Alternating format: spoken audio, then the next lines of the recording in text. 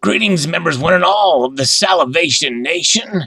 Most of you probably got this same email. This is a exciting new series from Somalia. At least we think it's from Somalia. It's the African Wildlife Series, the second coin in the series, a first for quite a while. For the past 15 years, it has been the elephant. And this is an APMEX exclusive, apparently. This is coming from APMEX, but I got the email this morning about it. And it says, get your 2018 gold and silver Somalian leopards first at APMEX in 2018. The second design was added to the African Wildlife Series, the leopard.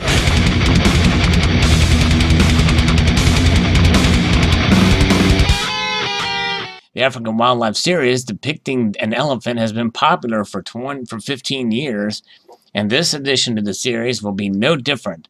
The first release had a limited mintage of 1,000 gold coins and 30,000 silver coins worldwide.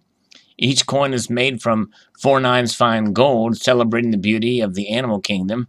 The gold leopard coin portrays one of the fastest animals found on the African plains, a leopard. Minted by the Das Bay Bayerisches Hauptmünzamt Mint in Germany, the German manufactured gold elephant coin attract uh, attention from coin collectors all over the world. Now, I assume that means a Bavarian mint, uh, and I think that's what that is. And uh, there's some controversy around that, but this text doesn't um, talk about that controversy. That's why I say the word coin in quotes but it's the subject of a video to come, so stay tuned, for which I will talk about it. We'll see the prices for silver and gold and everything is up a little bit today. Uh, but there they are. You get them in uh, one ounce gold, one ounce silver, and the Mint Direct silver. And there you go. Now, here's the gold coin. Now, the thing about this, my opinion of this design is not really that high. You know, I mean, a, a leopard, a beautiful animal, but uh, uh, to see the butt end of a leopard or any animal, uh, even even if he's turning around facing you, is uh, it's uh, it's not a, even if you could do it well, um, is not uh, the most attractive way to portray an animal, in my opinion. I kind of see what they're going for here, but there's no depth of field. It looks like a mass of, of craters on an animal horrible, in my opinion. And the landscape around the animal is is is okay, but even as such, you know, there's real no depth of field here, at least according to this rendering here. And literally it just looks like a cratered animal because it appears that the spots themselves will be are in depth to have the mirror background and, and, and the, the mirror background makes the spots of the animal. The face is not too bad. But uh, nonetheless, that's the gold. And here is the silver version. Let's take a look at that and see how that looks. Same thing. In fact, I think it looks even worse than silver. Four nines fine pure. Um, this could have been a really good design. But again, in my opinion, there's no real depth of field here. And, uh, and it just doesn't really translate well at least according to these renderings. Uh, this silver almost looks like it could be a photograph of the coin.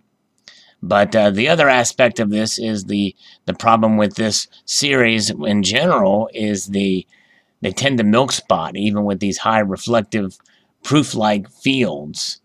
Um, so I don't know how this will do.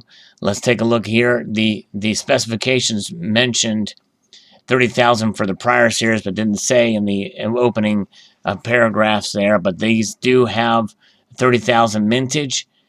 The North American APMEX exclusive, so North America, they're the sole distributor for these at 30,000. Since it is the second in the series, it may be pretty exciting for some um, to accumulate, to acquire, and some of you may like this design. I think it could have been done a little better. I think there's a way to have the same effect, but have the animal show a little bit more of the animal. Um, and uh, but nonetheless, then the legality of it is obviously another thing. And I'll, like again, I'll cover that in another video. But they're on pre-sale for order for uh, October the 11th.